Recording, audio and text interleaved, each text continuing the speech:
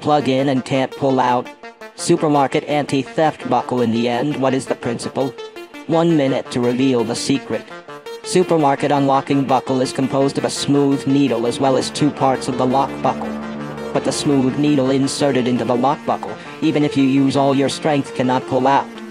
And when you use the unlocking device can be easily unlocked.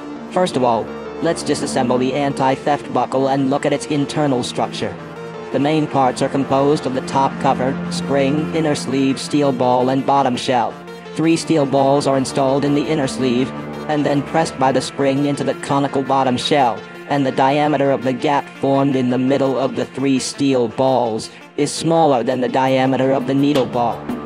When we insert the needle, the needle pushes the steel balls upward and drives the inner sleeve upward. Due to the conical structure of the bottom shell, the three steel balls will be moved outward.